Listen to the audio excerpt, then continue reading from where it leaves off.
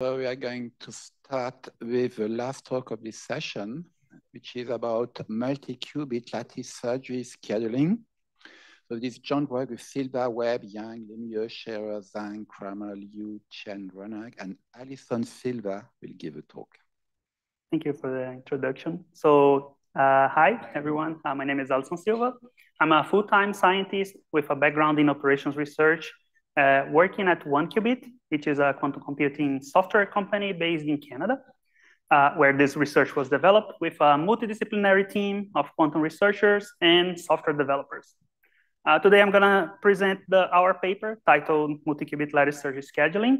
I will begin with a short summary of our work, and I will detail the research that we conducted, culminating the key takeaways uh, derived from our observations. So here's a summary of our research. Uh, in it, we explored the optimization of multi-qubit lattice surgery, uh, which is a promising uh, technique that can be used to perform logical operations by connecting distant qubits in topological error, uh, error correcting codes.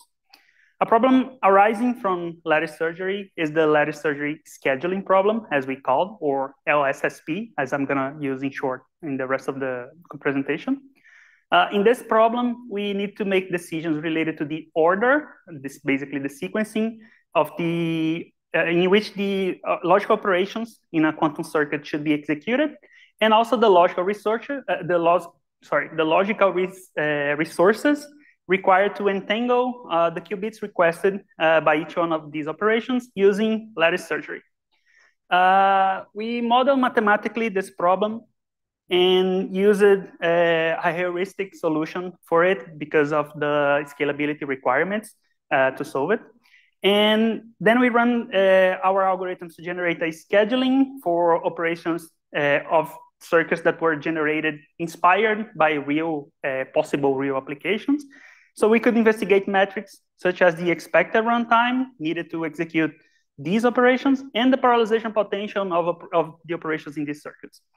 Uh, we also analyzed the trade-offs in the scheduling of these circuits after a, sorry, after a transpilation algorithm uh, that is known in the literature uh, that reduces the number of uh, logical gates in circuits at the cost of increasing uh, their weights, basically the number of qubits requested by each one of them.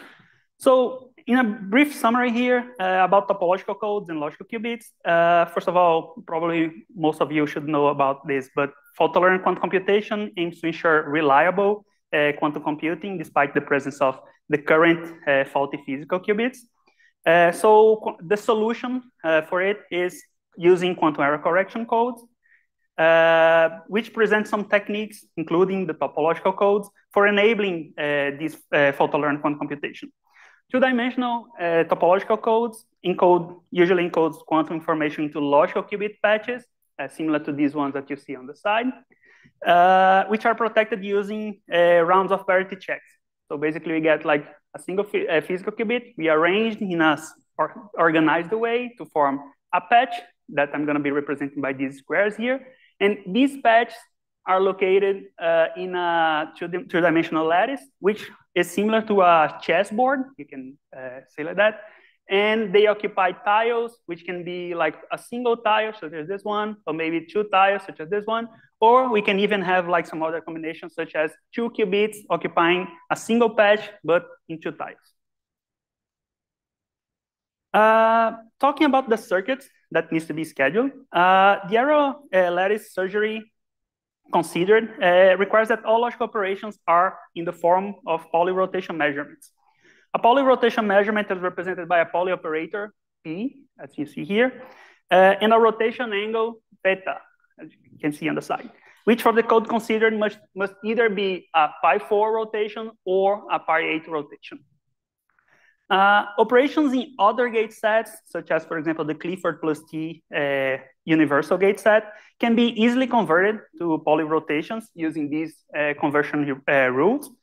And other gates, such as, for example, arbitrary uh, angle rotations, can be approximated using the composition techniques, but this is beyond the scope of my talk here. So uh, we are given a circuit composed of Pauli rotation measurements on the side. That can be represented as a matrix, where each one of the rows uh, represent a single uh, rotation that needs to be performed, and the columns represent each one of the qubits requested by, by them. By defining a commutation rule, for example, as a, a, a the trivial commutation rule, uh, we can build a graph that we call as a dependency graph, representing the dependency constraints for the execution of these operations. So for example, in the trivial rule, as I mentioned, uh, it, may, it says basically that, uh, let me get one example here. So for the second operation and the third operation, uh, given that they do not share a single qubit uh, requested, so for example, first qubit is only requested by this one, second is only requested by the second one, and so on. Remembering that the identity operation, we consider that that means it's not requested. Then that means that two and three could be executed in parallel, in theory, because they commute.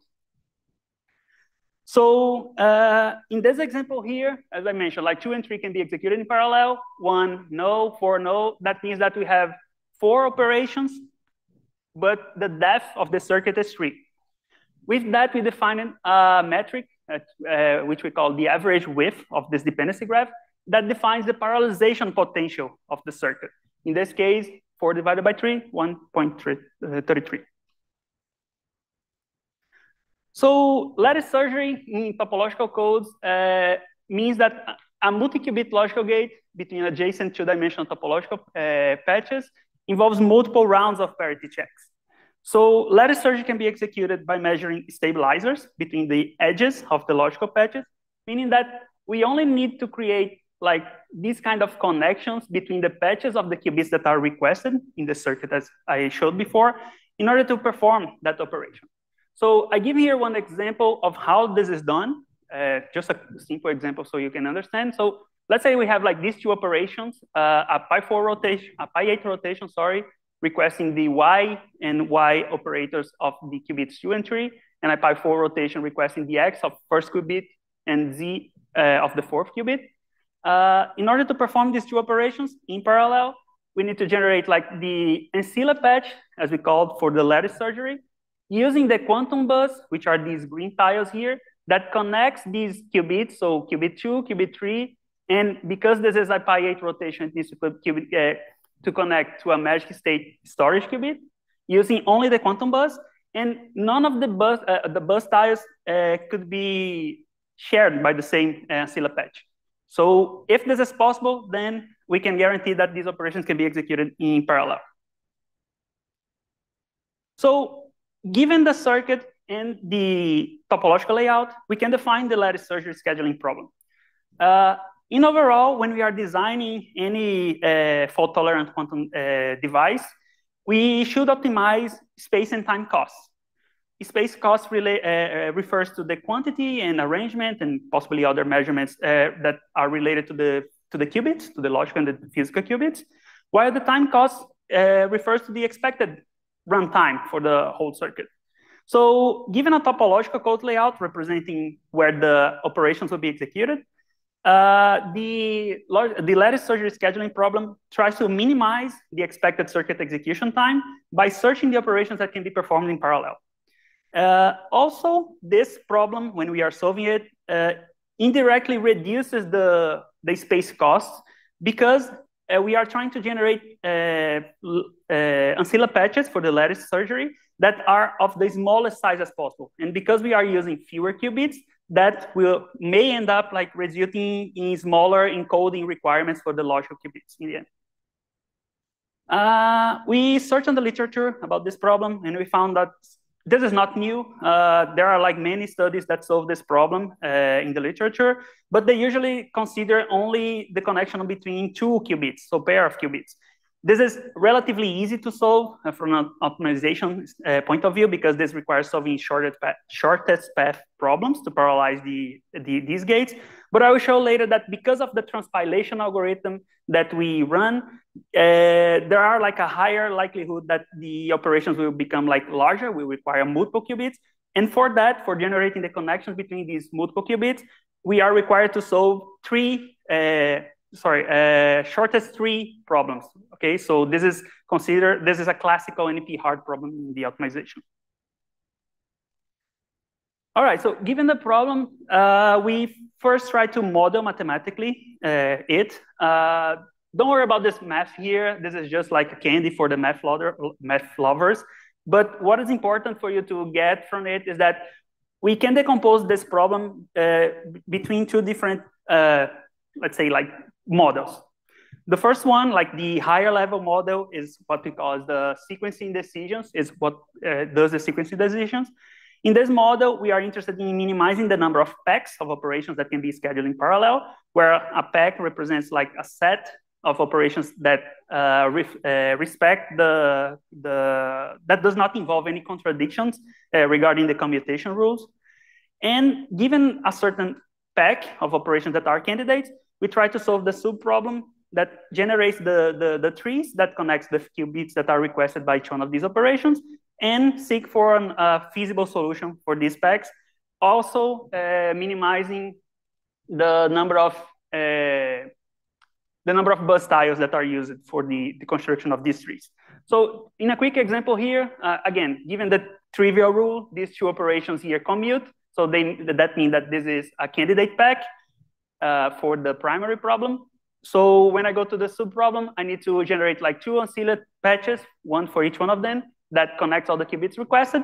And if it's possible, if there is no bump between the ancilla patches, we have a feasible solution. Uh, the problem with that model is that it requires uh, generating all the combinations of packs, which is increases exponentially. Uh, and this is very costly computationally. So instead of that, and because we need to schedule like millions of operations, even more on a real uh, quantum circuit, we developed a, a, heuristic algorithm, very simple one, a greedy heuristic as we call it, to solve this problem using known methods on, from the optimization point. Uh, so we are given first uh, here uh, as an input the circuit that needs to be scheduled in the form of a dependency graph and the, the adjacency graph representing the adjacencies between the logical qubits in the lattice. So we identify uh, the dependencies among the operations to build this dependency graph, and then we run a loop where we identify the candidate packs from the dependency graph. So in this case, uh, the candidate pack will be composed of all the operations that are the root nodes of this uh, dependency graph. Uh, oh, sorry. Yeah, and then for these candidate uh, operations here, uh, we generate the trees connecting the qubits that they request. So for example, here, I need to I need to connect like the X operator on the qubit two, so this one here, and the Y operator on qubit three. So uh, Y is basically X and Z. And because this is a pi 4 rotation, I'm connecting to ancillary qubit here on the side. So for that, we solve a Steiner tree problem, which, as I mentioned before, is a classical NP hard problem. And this example here, I only have one operation to be packed, but if I had another one, I could just remove like these nodes that were used and search for, uh, solve again this uh, problem for the remainder of the operations, given the updated uh, adjacency graph.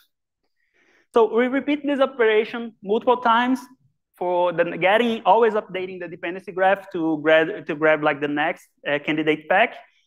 Again, like every time that these are scheduled, I remove these operations, I repeat this loop here again, and in the end, we expect to return the operations that were scheduled given a certain uh, order and the trees generated for these uh, multi-qubit operations.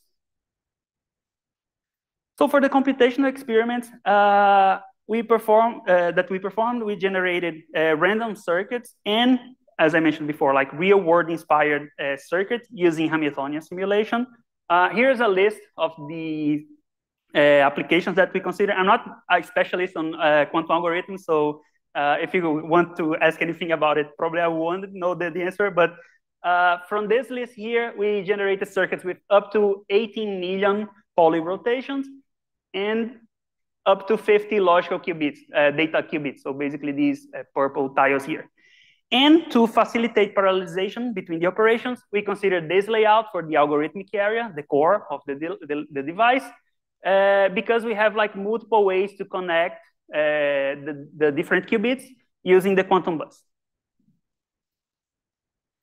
Before I show you uh, results about the, our experiments, I want to briefly talk about the transpilation algorithm that we uh, run and which inspired the development of this method. Uh, this transpilation algorithm is inspired by this study here, the Litinski 2019. Uh, it's relatively simple. So we get the input circuit composed of pi4 operations and pi8 operations. And then we perform these three steps to remove the, all the pi4, all the Clifford operations from the circuit, and to try to reduce the number of uh, pi8, the non-Clifford operations from it. So first we push all the pi4 rotations, so we perform a sort of like sorting algorithm here. Then we reduce the number of pi4 and pi8 layers by uh, combining operations whenever it's possible. And finally, we commute pi4 rotations past the uh, qubit measurements, of course, updating these qubit measurements in order to uh, end up with a circuit like that uh, that has a reduced length. One known uh, feature of this algorithm is that when we are uh, doing this first operation here, pushing the pi4 rotations, uh, I have an example here for like pi4s here and pi8s here. When we do the commutations for the, for the pi8s, they tend to become uh, like heavier. So they tend to require more qubits once I commute them. So uh, in the literature, I brought like this quotation, this citation here that highly parallel input circuits can become serialized with prohibitive runtimes because of this uh, algorithm. So we investigated this affirmation by running our greedy algorithm for circuits before and after transpilation and comparing the solutions uh, obtained for the scheduling problem. And the results are summarized here. So let me briefly go over them. So the first one that you see, the circuit length refers to the number of operations in the circuit. So you can see that on average, we had 5 million operations before transpilation, and we end up with 500, uh, 500,000 approximately, which means a 89% reduction on average. Uh, circuit length is composed of pi4s and pi8s. I'm ignoring the, the measurements for now. Uh, and I just want to show you here that uh, after transpilation, we remove all the pi4 operations. But we also reduce the number of pi8 operations, which is good because these are the costly part of uh, fault-tolerant quantum computation, by 72% after running this uh, algorithm.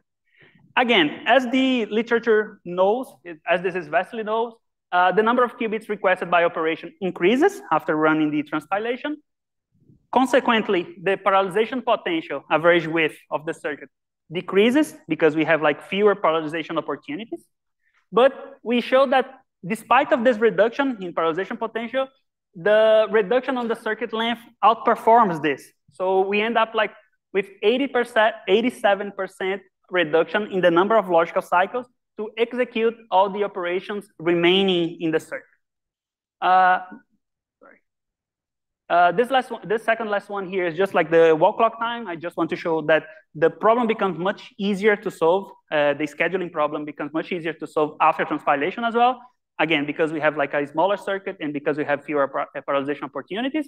But something very interesting is that even uh, despite of like running the, the, the, transpilation or not, there are like uh, parallelization opportunities in both circuits as we observed. So in the pre-transpiled circuit, we observed that comparing this solution here, the number of logical cycles, to the circuit length, we could still uh, parallelize approximately 37% of the operations. And even after transpilation, we could still parallelize 21% of the operations.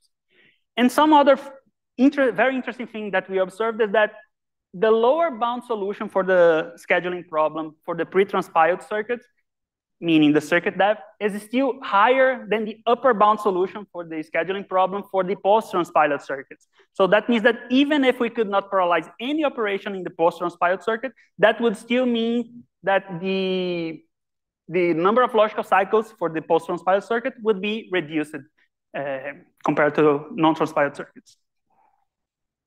So in conclusion, I just want you to take like these two takeaways from this presentation. The first one is that solving this uh, problem, this lattice surgery scheduling problem, helps to reduce uh, space-time costs when designing fault-tolerant uh, devices.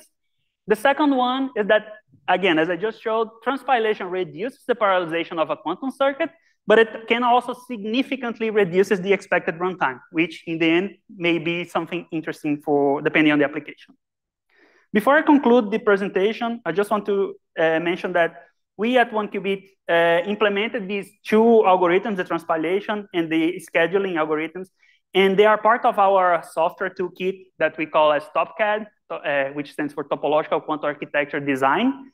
Uh, and we hope that this uh, toolkit in the end can assist uh, researchers and businesses in the design of fault-tolerant quantum architectures. The just to mention, like the the scheduler is here, and the transpilation would be on the circuit optimizer, optimizer part. And uh, yeah, it. So this is a short video because I just want to show you guys that. Yeah. So in this toolkit, the, whoops. Yeah. Anyway, uh, yeah, it's working, good. Uh, in this toolkit, the user can input a circuit, a target error bound, for example, 1% as the probability of maximum allowed probability of error uh, for running that circuit, and the parameters that characterize a qubit, such as like the, the running time, like the measurement time, uh, the, uh, the, the qubit fidelity, and so on. And uh, our toolkit run a bunch of tools, including the scheduler and the transpiler, that optimizes uh, the circuit to given a suggested fault-tolerant architecture, meeting the conditions that were informed, uh, generating a resources estimate for the scenario path. So I'm not sure if I can return here the video, but in the beginning, I showed that uh, here you can see that we have like the expected runtime, the number of physical qubits, and then the rest is a report showing like where the, these qubits are, the, for example, the fidelities uh, uh of the logical of the logical qubit, qubits and so on. So we are currently working on rounding some corners uh, before releasing TopQAD publicly. So we will release more information about it soon. If you are interested to know more about its capabilities or have any question about the, uh, the tools that I presented, feel free to contact myself. Uh, yeah, thank you very much for listening my presentation.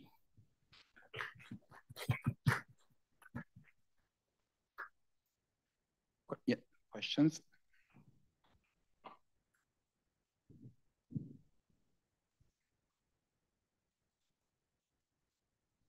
Hi, uh, thanks for the nice talk. I just, it was a bit of a basic question. The last table you showed comparing pre and post transpiled. So that was like averaged over yes. Uh, the, the use cases you showed before. Yeah. Um, is post transpiled better in all cases, or is there maybe some reason to? No, it's uh, pre and post for the average for like all the circuits. I have a. Yeah, yeah. Say I, so that on average, it's yes, it's better. on average. It, but in all cases, is it better? Or is there maybe some reason to... In all cases, it's better. So this is what I mentioned at the end of the slide. So this is what I say here. In all cases, the lower bound for the pre-transpiled circuit is worse than the upper bound for the post-transpiled circuit. So regardless, for the, again, like for the circuits that we tested, for the set of circuits that we tested, regardless of like uh, parallelizing operations or not, we can achieve like fewer logical cycles for the post-transpiled circuit than optimizing everything as possible, like parallelizing everything as possible in the pre-transpiled circuit. This is the main takeaway here. All right, fantastic, thank you. Thank you for the very interesting talk. Um, so um, I saw, like in the earlier half of the presentation, you um, had these Y magic states, right, for implementing the pi over four rotations. Is that correct? So those would be the pink rectangles. Um, but then later in the presentation, you used this transpilation pass to remove the pi over four rotations. Yeah. So do you still require pi over four, like these Y magic states, or not in the end? Yeah, in the end, if we remove all the pi fours, these uh, pink rectangles are removed, so we do not need them because we do not need like any zero states. I'm just showing here because, again, for the experiments, we run pre-transpiled circuits, so we need them. I see. For the pre-transpiled ones, you do still need them. Yeah. Right, but doesn't, when, when you're implementing a like multi-qubit Pauli measurement that includes Y support, uh, even if it's a pi over eight rotation, you know, those are not necessarily native in that lattice surgery, right? So Like for example, mean a case like this, that we have, right like, there, Y? Exactly, it has Y support there. Doesn't that also require some sort of Y magic somewhere, or is it possible to implement that with lattice surgery? Uh, no, uh, actually the magic states only require Z uh, connections to the to the data qubit, so why is not necessary for the next? See, very interesting. Maybe you can explain that to me later. I Yeah. also had a more open question. Have you, so here you were very interested in routing, like positioning the, like how to use a bus, right? But did you also consider how to best position the qubits within the data blocks in order to minimize routing or? Yes, yes. Uh, in our full algorithm, let's say like that, we also have like a matching, let's say like an assignment problem to decide like which data qubit should be used compared to this one. So in this example here, I just wanted to keep it simple. I'm using like one as this one here, two as this one here. But of course, like we need to solve like this uh, assignment problem if we want to actually optimize the whole thing. So yeah. Is that part of your architecture? Does your, that paper show how, your, your paper show how to do that or? We in this paper we just mentioned we just use it like random assignments, so we do not explore that. But in our software, uh, we have like a more optimized way to assign the qubits. Fantastic. Yeah, I'd love to see how you guys approach that problem. Thank you. Uh, hello, uh, here. Uh, thank you for a great talk. So uh, for the transpilation thing, I wonder what is the uh, pre-transpilation circuit that you're trying to run, and is it optimized in any way? Or Yeah, that's a very good question actually. Uh, let me think I have it. Some...